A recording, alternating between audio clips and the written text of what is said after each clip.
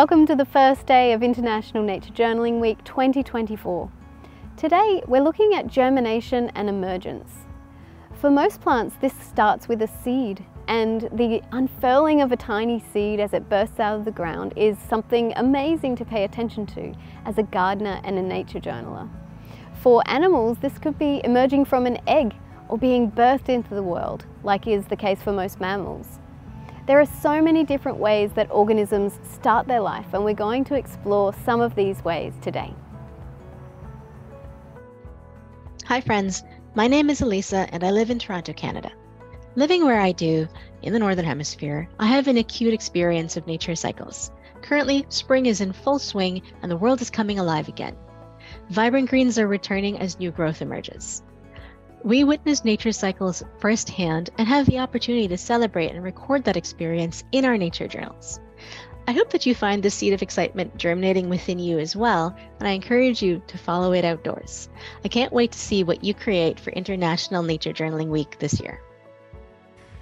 So I am really excited about this year's nature journaling prompts. This is my second year doing nature journaling week. I'm an artist, but I'm a new to nature journaling artist. And we live in a wooded area and this is also my third season as a gardener. So I love getting inspired by what's happening in the garden. And this is a fabulous time to capture germination and emergence as the garden is in lots of different states of germination with plants and flowers and fruits and vegetables coming in at a rapid rate, but also at very different times.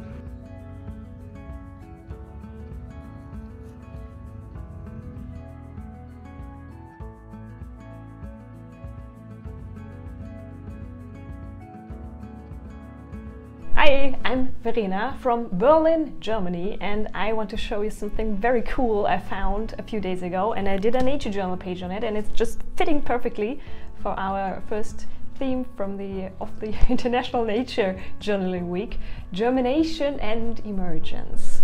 I went to the North Sea, that's quite close-ish to Berlin, and I found something very cool. Take a look.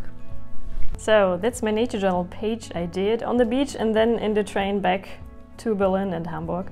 Um, I found, take a look at this, I put it, I put some tape over it.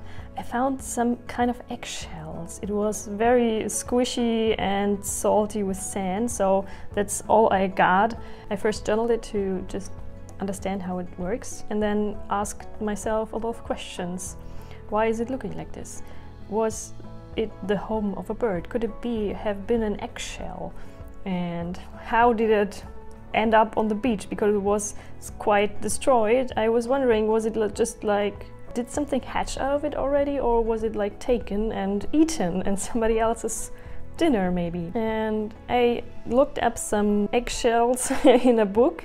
Uh, and wasn't quite sure. Maybe I can can find out which bird has those kind of eggshells and yeah, I found out it must be some kind of möwe, very big seagulls, and wasn't quite sure then because they are very similar. If it's a Silbermöwe or a Lachmöwe, they are kind of smaller because the eggshell I found, the squishy bit was kind of this big. I estimated like 8 centimeters. It must, must possibly belong, I could not be sure in the end, to a um, Silbermöwe, very big one, um, with a little red dot they have. So I just journaled a very tiny red dot there and found a picture of a nest. And I am so eager to find more of those eggshells and I love to speculate how this beautiful kind of round thing, how can you just, that's amazing. The form is just amazing. So yeah, I leave with a lot of questions. We love them. we ask a lot, a lot of questions. I love it.